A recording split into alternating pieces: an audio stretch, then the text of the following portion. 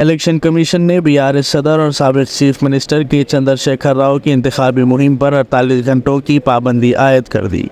Election commission of India ने बताया कि के चंद्रशेखर राव की इंतखाबी मुहिम पर आज चार चारशंबे की रात आठ बजे से 48 घंटे के लिए पाबंदी लगा दी गई है।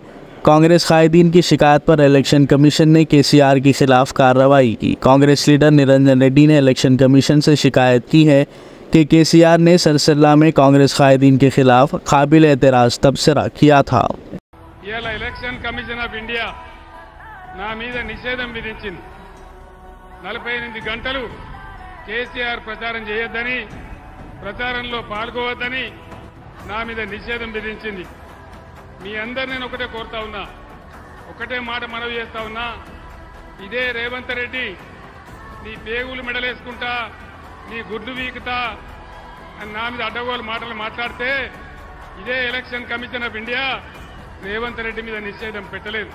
కానీ నా మీద పెట్టింది. నేను ఒక్కటే మాట చెప్తా ఉన్నా. లక్షలాదిగా ఉన్నటువంటి టీఆర్ఎస్ కార్యకర్తలు వారందరికీ కూడా నేను పిలిపిస్తా ఉన్నా నలభై ఎనిమిది గంటలు నా ప్రచారాన్ని నిషేధిస్తే మా అన్నదమ్ములు మా టీఆర్ఎస్ బిడ్డలందరూ కూడా దాదాపు తొంభై ఆరు గంటలు అవిశ్రాంతంగా పనిచేస్తారని మనవి చేస్తా ఉన్నా.